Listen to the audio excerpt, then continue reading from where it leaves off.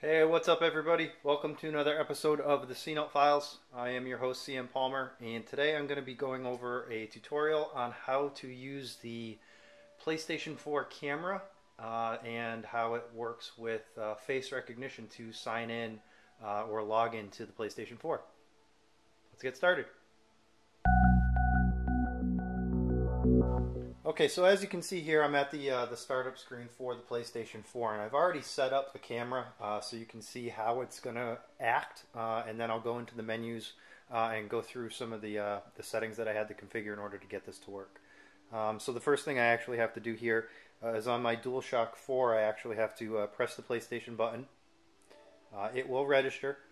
so this is the sign-in screen for the PlayStation 4, and it, I don't know if you can see it or not, but down in the lower camera lower window of the TV uh, is the small camera window. Uh, and it actually says it's searching for reg- registered faces. So what I'm going to do is I'm going to walk over to the camera and get my face into view.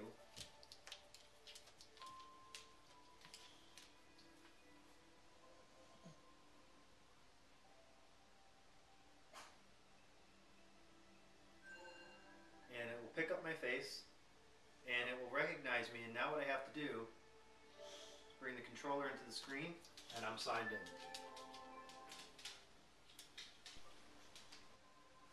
Okay, so how did I get that to work? The uh, first thing I had to do was go into the settings menu and I believe it was under login settings.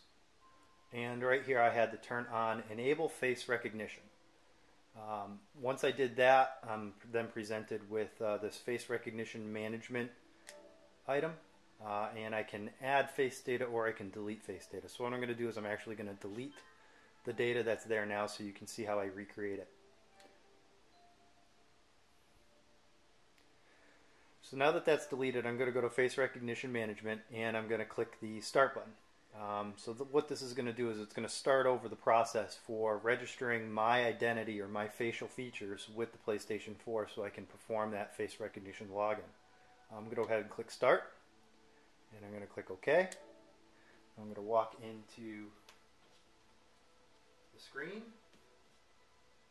and click OK.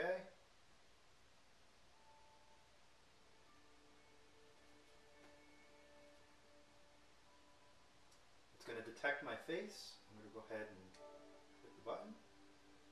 Now this is the part that gets a little weird. Uh, it actually asks you to start tilting your head in different directions so it can recognize you from different angles depending on if you're right in front of the camera or just off to the side when you log in.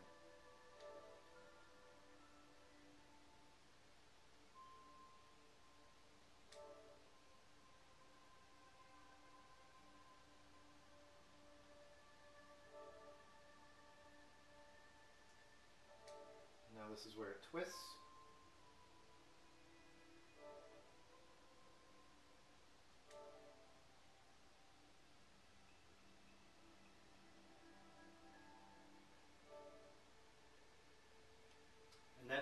It. Data has been added.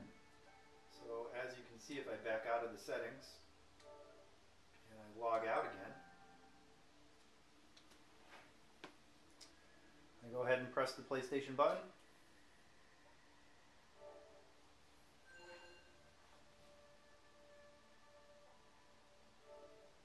And I can log right back in again. It's pretty much that simple.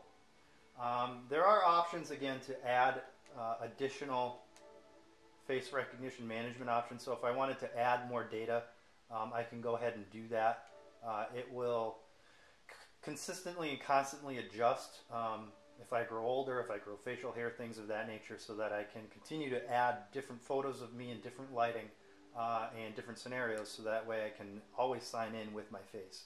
Um, the weird thing is, though, is that you always do have to have that PlayStation 4 controller with you.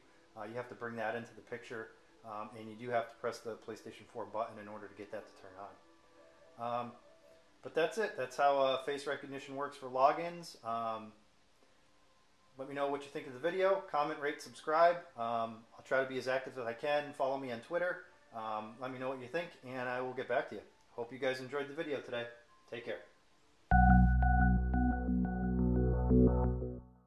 Hey everybody, so today's shout out is going to go out to Hack Informer. Um, he is a pretty active um, guy on Twitter. Um, he's always posting news stories about various things in the hacking scene.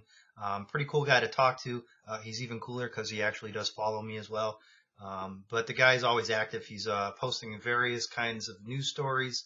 Um, uh, pretty cool guy to chat with. We've exchanged messages back and forth on a bunch of different subjects. Um, but other than his Twitter account, you can also check him out on the hackinformer.com website. Um, he has got a bunch of ways to get in touch with him Google, Plus, Twitter, Facebook. Um, he's into all kinds of things Android, PlayStation, Nintendo. Uh, he's also very popular um, and well known for working with Total Noob on the TNV4 release. Um, he's been beta testing that, uh, searching for bugs and everything for a long time. Um, and so the you know the guy is well known, well respected throughout the scene. Uh, so today's shout out goes out to him. Check out his Twitter, follow him, um, and check out his website. Hope you enjoy.